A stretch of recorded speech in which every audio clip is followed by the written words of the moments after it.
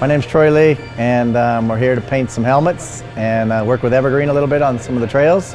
Evo's been a great company, so it's super cool to come up to Seattle and check it out. Beautiful store. Stoked to be here. In uh, 1974, my grandfather bought a Honda franchise in uh, Tustin, California, and um, when he bought the franchise, they got two Elsinore uh, 125s and uh, sent them up to me and my brother, and we tore up the hills on motorcycles. Started painting my friends' helmets and painting signs and just anything that came along and never thought I would turn into a business, but uh, yeah, that's what got me started is painting helmets and so I'm still doing it 38 years later here tonight and um, it's a dream come true. When the mountain bike scene came on, a lot of my friends that are running Lycra with a little teeny beanie on their head and they just, I mean the first races I went to they didn't even have forks, you know, and I'm like, man, these guys are going way too fast to be running Lycra and a, a little teeny road bike helmet on top of their head, you know.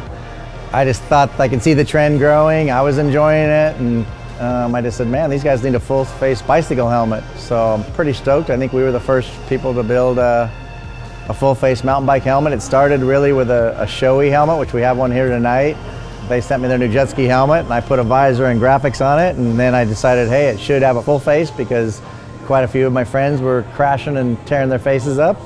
Basically, the athletes are doing more crazy stuff, so my whole job is to see how I can build the best protection out there and keep these guys safe, you know? I mean, Rampage is another crazy event that just keeps scaring me.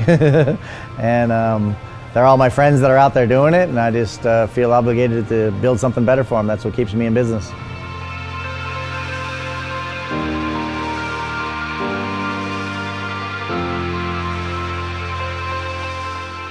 You know, I spend probably 50% of my time in the paint department, and um, it's where we get to experiment with new ideas and new colors and patterns and everything.